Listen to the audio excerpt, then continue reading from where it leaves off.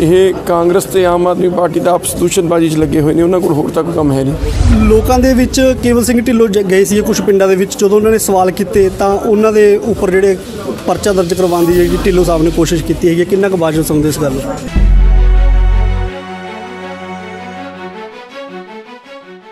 ਸਿੰਘ ਢੀਂਡਸਾ ਜੀ ਨੇ ਅੱਜ ਜਿਹੜੇ ਆਪਣੇ ਨਾਮਜ਼ਦ ਨੇ, ਫਾਈਲ ਨਾਮਜ਼ਦ ਕਰ ਦਿੱਤੇ ਨੇ ਤੇ ਸਾਡੇ ਨਾਲ ਮੌਜੂਦ ਨੇ ਪਰਮਿੰਦਰ ਸਿੰਘ ਜੀ ਢੀਂਡਸਾ ਉਹਨਾਂ ਤੋਂ ਜਾਣਾ ਕਿ ਕਿਸ ਤਰ੍ਹਾਂ ਦਾ ਮਾਹੌਲ ਜਿਹੜਾ ਹੈਗਾ, ਕਿ ਅਕਾਲੀ ਵਰਕਰਾਂ ਦੇ ਵਿੱਚ ਕਿੰਨਾ ਕੁ ਉਤਸ਼ਾਹ ਹੈਗਾ। ਸਵਾਗਤ ਹੈ ਜੀ ਤੁਹਾਡਾ ਪਹਿਲਾਂ ਹਾਂਜੀ। ਅੱਜ ਨਾਮਜ਼ਦਗੀ ਕਾਗਜ਼ ਜਿਹੜੇ ਦਾਖਲ ਕੀਤੇ ਨੇ ਤੁਹਾਨੂੰ ਕਿਸ ਤਰ੍ਹਾਂ ਦਾ ਵਰਕਰਾਂ ਉਤਸ਼ਾਹ ਦੇਖੋ ਬਹੁਤ ਉਤਸ਼ਾਹ ਹੈ। ਮੈਂ ਇੰਨਾ ਉਤਸ਼ਾਹ ਕਦੇ ਵੀ ਨਹੀਂ ਦੇਖਿਆ ਵਰਕਰਾਂ ਜਿੰਨਾ ਇਸ ਵਾਰੀ ਦੇਖ ਰਿਹਾ ਲੋਕ ਜਿਹੜਾ ਖੁਦ ਬਖੁਦ ਅਕਾਲੀ ਦਲ ਨਾਲ ਜੁੜ ਰਹੇ ਨੇ। ਅਕਾਲੀ ਭਾਜਪਾ ਦੇ ਵਰਕਰ ਮਿਹਨਤ ਕਰ ਰਹੇ ਨੇ। ਦਿਨ ਰਾਤ ਇੱਕ ਕੀਤਾ ਹੈ। ਮੈਂ ਸਮਝਦਾ ਜਿੰਨੀ ਮਿਹਨਤ ਅਸੀਂ ਕਰ ਰਹੇ ਹਾਂ ਸਾਡੇ ਨਾਲੋਂ ਵੀ ਕਈ ਗੁਣਾ ਵੱਧ ਮਿਹਨਤ ਸਾਡੇ ਵਰਕਰ ਕਰ ਰਹੇ ਪਿਛਲੇ ਪਲਾਨ ਦੇ ਵਿੱਚ ਜੇਕਰ ਗੱਲ ਕਰ ਲਈਏ ਤਾਂ ਅਕਾਲੀ ਦਲ ਦੇ ਵਰਕਰਾਂ ਦੇ ਵਿੱਚ ਵੀ ਕਿਤੇ ਨਾ ਕਿਤੇ ਜਿਹੜੀ ਨਿਰਾਸ਼ਾ ਸੀਗੀ ਉਹ ਦੇਖਣ ਨੂੰ ਮਿਲ ਰਹੀ ਸੀ। ਅਕਾਲੀ ਦਲ ਦਾ ਹੀ ਖੁਦ ਵਿਰੋਧ ਕਰ ਰਹੇ ਸੀ। ਇਸ ਵਾਰ ਕੀ ਲੱਗ ਰਿਹਾ ਤੁਹਾਨੂੰ? ਕਿੰਨਾ ਕੁ ਉਤਸ਼ਾਹ ਜਿਹੜਾ ਵਰਕਰਾਂ ਦੇ ਵਿੱਚ ਨਜ਼ਰ ਆ ਰਿਹਾ? ਦੇਖੋ ਲੋਕਾਂ ਨੇ ਤੇ ਵਰਕਰਾਂ ਨੇ ਦੇਖ ਲਿਆ ਵੀ ਸਰਕਾਰ ਤੋਂ ਬਾਹਰ ਹੋ ਕੇ ਵੀ ਕਾਂਗਰਸ ਦੀ ਕਾਰ ਕਾਰਗੁਜ਼ਾਰੀ ਕੀ ਹੈ। ਜੋ ਮਾਣ ਸਤਿਕਾਰ ਸਰਕਾਰ ਵੇਲੇ ਸਾਡੇ ਵਰਕਰਾਂ ਨੂੰ ਜਾਂ ਲੋਕਾਂ ਨੂੰ ਆਮ ਲੋਕਾਂ ਨੂੰ ਮਿਲਦਾ ਸੀ। ਕਾਂਗਰਸ ਤਾਂ ਕਿਸੇ ਦੀ ਪੁੱਛ ਪ੍ਰਤੀਤ ਨਹੀਂ ਹੈ। ਸੋ ਇਸ ਲਈ ਹੁਣ ਤਾਂ ਹੀ ਲੋਕਾਂ ਦੇ ਵਿੱਚ ਜੋਸ਼ ਜ਼ਿਆਦਾ ਹੈ ਤੇ ਵਰਕਰਾਂ ਦੇ ਵਿੱਚ ਵੀ ਜੋਸ਼ ਜ਼ਿਆਦਾ ਹੈ। ਤੁਹਾਡੀ ਮਿਸਿਸ ਗਗਨਦੀਪ ਕੌਰ ਢੀਂਡ ਸਾਹਿਬ ਜੀ ਵੀ ਲੱਗੇ ਹੋਏ ਨੇ ਤੁਹਾਡੇ ਪ੍ਰਚਾਰ ਦੇ ਲਈ। ਮਹਿਲਾਵਾਂ ਦਾ ਕਿਸ ਤਰ੍ਹਾਂ ਦਾ ਰੋਲ ਜਿਹੜਾ ਤੁਸੀਂ ਦੇਖ ਰਹੇ ਹੋ ਇਸ ਵਾਰ? ਮਹਿਲਾਵਾਂ 50% ਆਬਾਦੀ ਮਹਿਲਾਵਾਂ ਦੀ ਹੈ। ਸੋ ਉਹਨਾਂ ਨੂੰ ਟੱਚ ਕਰਨਾ ਉਹਨਾਂ ਨੂੰ ਦਿਲ ਨੇੜੋਂ ਹੋ ਕੇ ਜਾਣਨਾ ਉਹਨਾਂ ਦੀਆਂ ਸਮੱਸਿਆਵਾਂ ਜਾਣਨੀਆਂ ਇਹ ਬੜਾ ਜ਼ਰੂਰੀ ਹੈ ਤੇ ਮੈਂ ਸਮਝਦਾ ਮੇਰੇ ਮਿਸਿਸ ਉਹ ਇਹ ਕੰਮ ਮੇਰੇ ਮਾਤਾ ਜੀ ਤੇ ਮੇਰੇ ਮਿਸਿਸ ਇਸ ਕੰਮ ਨੂੰ ਬੜੀ ਬਖੂਬੀ ਨਾਲ ਕਰ ਰਹੇ ਉਧਰ ਕਾਂਗਰਸ ਤੇ ਇਲਜ਼ਾਮਬਾਜ਼ੀਆਂ ਲਾ ਰਹੇ ਨੇ ਭਗਵੰਤ ਮਾਨ ਕਹਿ ਰਹੇ ਨੇ ਕਿ ਜਿਹੜੇ ਸਾਡੇ ਐਮਐਲਏ ਨੂੰ 10-10 ਕਰੋੜ ਦੇ ਵਿੱਚ ਜਿਹੜੀ ਖਰੀਦਣ ਦੀ ਗੱਲ ਕਹਿ ਰਹੇ ਨੇ ਕਿੰਨਾ ਕੁ ਵਾਜਬ ਸਮਝਦੇ ਇਸ ਗੱਲ ਨੂੰ? ਕਿ ਮੈਂ ਵੀ ਕਿਸੇ ਤੇ ਟਿੱਪਣੀ ਕਰਾਂ ਜਦ ਮੈਨੂੰ ਜਾਣਕਾਰੀ ਨਹੀਂ ਮੈਂ ਕਿਸੇ ਟਿੱਪਣੀ ਨਹੀਂ ਕਰਨਾ ਚਾਹੁੰਦਾ। ਇਹ ਕਾਂਗਰਸ ਤੇ ਆਮ ਆਦਮੀ ਪਾਰਟੀ ਦਾ ਆਪਸ ਦੂਸ਼ਣਬਾਜ਼ੀ 'ਚ ਲੱਗੇ ਹੋਏ ਨੇ ਉਹਨਾਂ ਕੋਲ ਹੋਰ ਤਾਂ ਕੋਈ ਕੰਮ ਹੈ ਨਹੀਂ। ਹੋਰ ਏਜੰਡਾ ਨਹੀਂ ਹੋਰ ਕੋਈ ਮੁੱਦਾ ਨਹੀਂ। ਜਿਹੜੀ ਸਿਆਸਤ ਹੈ ਉਹ ਹੋਣੀ ਚਾਹੀਦੀ ਮੁੱਦਿਆਂ ਦੀ।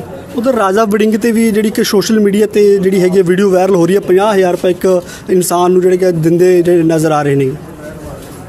ਜੇ ਇਹ ਜੀ ਗੱਲ ਸਾਹਮਣੇ ਆਈ ਹੈ ਤਾਂ ਇਲੈਕਸ਼ਨ ਕਮਿਸ਼ਨ ਨੂੰ ਕਾਰਵਾਈ ਕਰਨੀ ਚਾਹੀਦੀ ਹੈ ਉਹਨਾਂ ਦੇ ਖਿਲਾਫ ਸਖਤ ਤੇ ਪਾਰਦਰਸ਼ਤਾ ਲਿਆਉਣੀ ਚਾਹੀਦੀ ਹੈ ਇਲੈਕਸ਼ਨਸ ਦੇ ਵਿੱਚ। ਉਧਰ ਭਗਵੰਤ ਮਾਨ ਤੇ ਜਿਹੜੀ ਇਲਜ਼ਾਮਬਾਜ਼ੀਆਂ ਲੱਗੀਆਂ ਸੀ ਕੁਝ ਆਪਦੇ ਜਿਹੜੇ ਕਾਗਜ਼ ਸੀਗੇ ਉਹਨਾਂ ਦੇ ਵਿੱਚ ਕੁਝ ਤਰੁੱਟੀਆਂ ਜਿਹੜੀਆਂ ਪਾਈਆਂ ਗਈਆਂ ਸੀ। ਚੋਣ ਕਮਿਸ਼ਨ ਦੇ ਵੱਲੋਂ ਉਹਨਾਂ ਨੂੰ ਅੱਜ ਨੋਟਿਸ ਹੈ ਜਿਹੜਾ ਉਹ ਜਾਰੀ ਕਰ ਦਿੱਤਾ ਗਿਆ।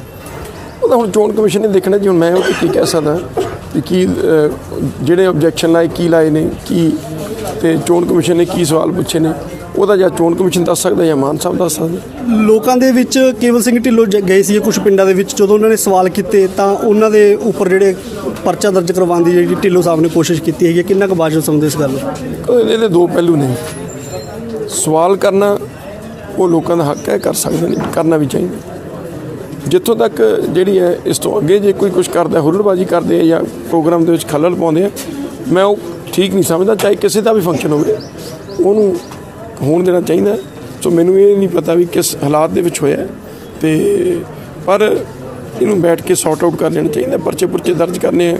ਕਈ ਵਾਰ ਬੱਚੇ ਹੁੰਦੇ ਬੱਚਿਆਂ ਨੂੰ ਪਤਾ ਨਹੀਂ ਹੁੰਦਾ, ਉਹਨਾਂ ਨੂੰ ਬੈਠ ਕੇ ਹੱਲ ਕਰ ਲੈਣਾ। ਸੰਗਰੂਰ ਸੀਟ ਨੂੰ ਕਿਸ ਤਰ੍ਹਾਂ ਦੇਖਦੇ ਹੋ? ਕਿੰਨੀ ਵੱਡੀ ਲੀਡ ਦੇ ਉੱਪਰ ਜਿੱਤ ਪ੍ਰਾਪਤ ਕਰ ਰਹੇ ਹੋ? ਕਿਸ ਨਾਲ ਟੱਕਰ ਰਹੇਗੀ ਤੁਹਾਡੀ? ਦੇਖੋ ਲੀਡ ਤਾਂ ਕੋਈ ਜਿੰਨਾ ਮਰਜ਼ੀ ਕਹੇ ਜੇ ਮੈਂ ਕਹਿੰਦਾ ਵੀ ਮੈਂ 2 ਲੱਖ ਤੇ ਜਿੱਤ ਰਿਹਾ 3 ਲੱਖ ਤੇ। ਇਹ ਅਸੈਸ ਕਰਨਾ ਕਿਸੇ ਵਾਸਤੇ ਵੀ ਸੰਭਵ ਨਹੀਂ ਹੁੰਦਾ ਵੀ ਕਿੰਨੀ ਜਿੱਤ ਹੈ। ਪਰ ਅੱਜ ਦਾ ਜੋ ਮਾਹੌਲ ਹੈ ਬੜਾ ਸਾਜ਼ਗਾਰ ਹੈ ਤੇ ਅਸੀਂ ਜਿਹੜਾ ਹੈ ਅੱਗੇ ਵਧਦੇ ਹੋਏ ਸਾਡਾ ਕਾਫਲਾ ਵੱਡਾ ਹੋ ਰਿਹਾ ਦਿਨ ਪਰ ਦਿਨ ਅਸੀਂ ਮਜ਼ਬੂਤ ਹੋ ਰਹੇ ਹਾਂ। ਟੱਕਰ ਕਿਸ ਨਾਲ ਸਮਝ ਰਹੇ ਹੋ? ਉਹ ਵੀ ਆਉਂਦੇ 10 ਦਿਨਾਂ 'ਚ ਪਤਾ ਚੱਲ ਜਾਏਗਾ ਕਿਹਦੇ ਨਾਲ ਟੱਕਰ ਹੈ।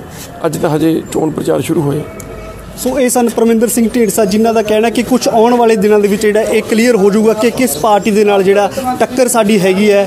ਤੇ ਉਹ ਪਰਮਿੰਦਰ ਸਿੰਘ ਢੀਂਡਸਾ ਸਾਡੇ ਨਾਲ ਮੌਜੂਦ ਸੀਗੇ। ਇਹਨਾਂ ਨੇ ਗੱਲਬਾਤ ਦੌਰਾਨ ਦੱਸਿਆ ਕਿ ਕਿਸੇ ਦੇ ਉੱਪਰ ਟਿੱਕਾ ਟਿੱਪਣੀ ਕਰਨਾ ਮੇਰਾ ਜਿਹੜਾ ਮਕਸਦ ਨਹੀਂ ਹੈ। ਮੇਰਾ ਮਕਸਦ ਸਿਰਫ ਸੰਗਰੂਰ ਦਾ ਵਿਕਾਸ ਕਰਨਾ ਹੈ। ਪੰਜਾਬੀ ਲੋਕ ਚੈਨਲ ਲਈ ਸੰਜੀਵ ਗੋਇਲ, ਸੰਗਰੂਰ।